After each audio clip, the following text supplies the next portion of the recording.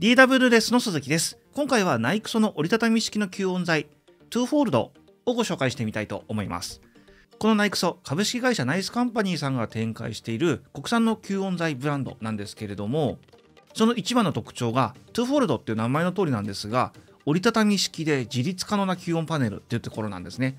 従来の吸音材はどうしてもこう壁に貼り付けて使用するというものが主流ですのでどうしても設置難易度というものが高くなってしまいます。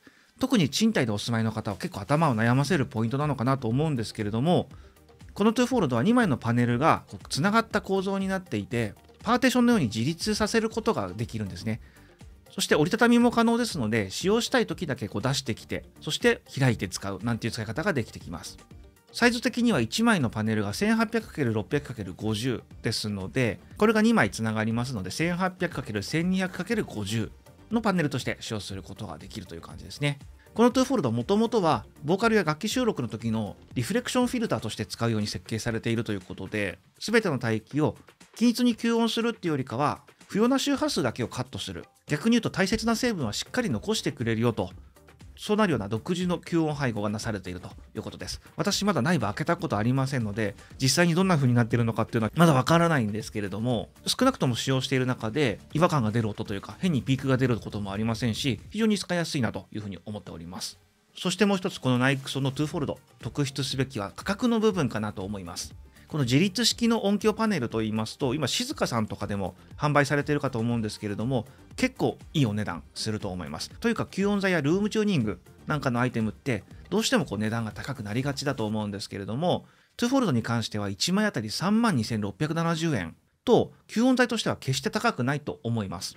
1枚の価格が抑えられる分例えば2枚複数枚導入して囲んでみたりとかそういう風な使い方もしやすいのかなと思っております。私もまだ1枚しか持ってませんので、もう1枚買ってもいいのかなと。まあ、それぐらいですね、あの融通が利くので使い勝手がいいという感じになっております。で、ここからは実際に私がどんな風に使っているのかという部分なんですけれども、当然マイク取りをする場合、まあ、うちの場合そんなに頻度は高くないんですけれども、リフレクションフィルターとして使用することあります。で、この部屋自体は今、防音されている部屋なんですけれども、そこまでドデッドにしてないんですね。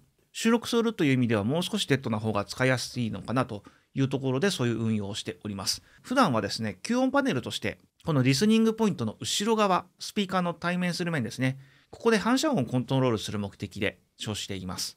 個人的にはこの用途もかなりおすすめで、ルームアコースティック調整したいななんていう時にも使いやすいと思います。なんといっても動かせるっていうのがやっぱり強くて、使い方によって場所を調整することもできますし、まあ極端な話、機材配置が変わってしまった場合にも、その適切な場所にこう簡単に移動できる。このアドバンテージっていうのはかなり高いのかなと思います。とここまで概要をご紹介してきましたけれどもやっぱりこう使うことによってどれだけ結果が出るのかサウンドに変化が出るのかっていうのが一番大事なところだと思いますので録音テストしてみました。はいじゃあ録音テストなんですけれども、はい、結構残響の大きい、うん、というか、まあ、普通の空間ルームアンビエンスが広めの。ところで撮ってるよっていう感じが、はい、今喋ってる感じだとこれぐらいの体感っていうのが分かればと思ってそうですねそうですね。撮ってる感じです。はい。まだね割と物の少ないリビングみたいな感じの場所なんですけれども、はいはい。まあ、なかなかこういうところでレコーディングすることってないとは思うんですが、はい、その中でナイクソ使うとこれぐらいの違いが出るよっていう、まあ、検証として分かりやすい例として、うん、ちょっとアンビエンスが強い、はいシーンでちょっと実験してみたいと思います。はい。それとなく街にあった空と雲が染まっていくよ。少しずつ花開いたひまわりそっと見守っていたいよそれとなく街にあった。空と雲が。染まっていくよ。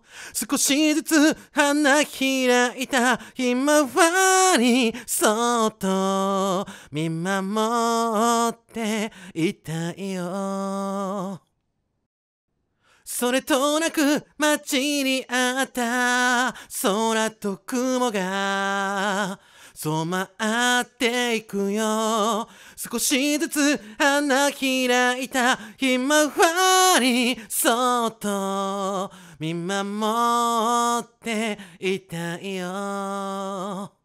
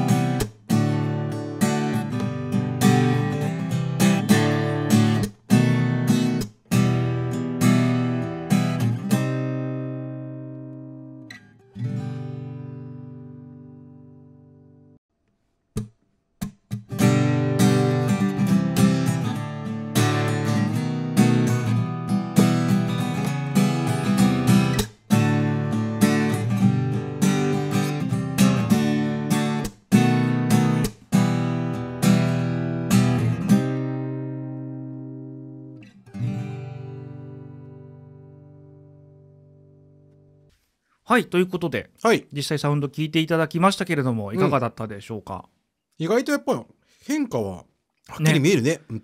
そうなんですよ。さっきもありましたけれども、はいはい。かなり特殊なうん。普通そこで撮らねえだろうみたいな まあそうだね。それはそう。感じの場所で撮っているので、うん。まあ、より脚色した状態だと思って聞いていただけたらなと思うんですけれども、うん。それを踏まえた上でもやっぱりこの1枚使うだけでうん。だいぶ問題解決できるぞっていう。うんうんうん。うん、で堀田先生普段あのリフレクションフィルターとか使われてるじゃないですか、はいはい。その使ってる感覚からしてどうでしたこうや今回やってみて。後ろってなかなかそうだフィねルター初めてだよね。うんうんうん。でもなんかその、はい。まあ、歌ったりとか撮ってる時、まあ、うん。弾いて撮ってる時は、うん。ちょっと正直ドキドキするですよね。聞こえてくる音はアンビーだから。あはあはあはあ。はあなんですか？なんですけど聞こえてくるというかなんていうんですか？どっちもまあ聞こえてくるわけじゃないですか。ヘッドホン入ってるとはいえ。うんうん。生の音とね。と外の音とみたいはない感じになってくると思うんですけど、だからその時にちょっと不安を感じたのは正直ありますよ、うんうんうんうん。大丈夫か？みたいなふうに思ったんですけど 実際聞いてみると、まあ、はい。そんなこともなかったかっていう、うんうんうん。だしあのアコギに関しては僕後ろの方が好きだなって思ったんで。そうですねそうですね。うん。うんうん。なんであ効果というかちゃんと変化というか、あこうなるんだなっていう一つの勉強になったなと思いますけど。まあなんかシンプルな話ってうん。マイクの音を拾う指向性っていうものを考えた時にやっぱりマイクの正面側の方が感度が高いわけじゃないですか、うんうんうん。そうなった時に、まあ、リフレクションフィルターと言われるものってこう後ろ側をこうガードするというか、うんうんうん。反射音をガードしようってことになると思うんですけど、はいはい。同じ要領でボーカリストの背中側うん。の方が影響はでかいのかなって思うところがあって、うんうんうんうん。かつ自然なんですよねこっちで切ってあげた方が切りましたみたいな感じにならない。うーん。なるほどね。のはありますね。はいはいはい。なんで今回は結構ドライブな環境だったので、うん。もしかしたらボーカルとかもまあ正面の立てた方が正面立ててる方がリフレクションフィルターに近い雰囲気はありますそうですね。押し出してくるような感じの雰囲気って言ったらいいんですか、なんかつあのリフレクション入れた時特有のはいはい。なんていうんですかね。グッとわかりますわかります。あの点がギュッとなる感じね。そうそうそうそう、うん。その感じはつかめたかなという気持ちかなと思いますけどね。そうですね。うん。でまあこの辺は欲しい音という環境によって、うん。環境によってどっちを選ぶべきかとかどこに置くべきかって全く変わってきてしまうとはい。思うんですがって感じですね、まあそうだよね。はい。うん。どうしてもこうなんかイメージ的には前ばっかりうんうん。っていうことがあるかなと思ったので、はい。ちょっと今回こういううん。検証というか、うん。実験をしてみたという感じでございますね。はいはい、いかがだったでしょうか？こんな形で2フォールドありなしによってここまでサウンド変化しますのでご自宅で録音される方は持っておいて絶対損はしないアイテムかなと思います。本当にセッティングが柔軟で融通が効くっていうのが一番魅力の部分かと思いますのでぜひチェックしてみてください。製品の詳細については動画の概要欄にリンク記載しておきますのでそちらからぜひチェックしてみてください。このチャンネルでは今後も音楽制作に関する様々なテーマの動画定期的に更新していきますのでチャンネル登録や動画への高評価またコメントなどもお気軽にお寄せいただければなというふうに思っております。それではここまでご視聴ありがとうございました。